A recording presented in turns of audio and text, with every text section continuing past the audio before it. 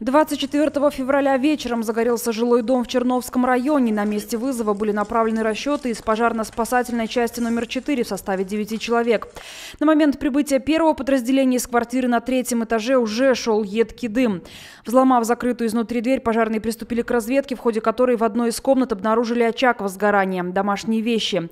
Рядом на диване находилось тело пожилой женщины возрастом около 60 лет. Пожар площадью 5 квадратных метров был ликвидирован в 8 часов 9 минут минут причины возникновения устанавливаются.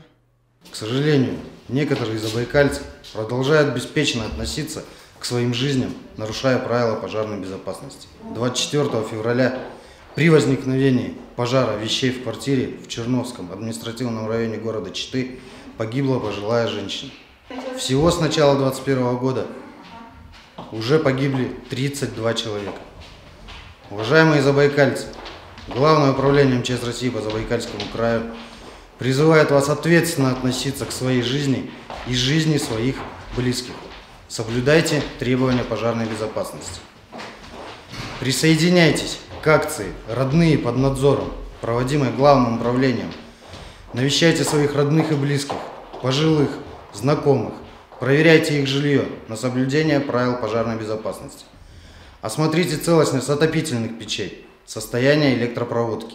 Объясните, что курение в квартире, особенно в нетрезвом виде, может привести к гибели. По возможности устанавливайте автономные пожарные извещатели в их и своем жилье. Только совместными усилиями мы сможем предотвратить гибель людей от огня.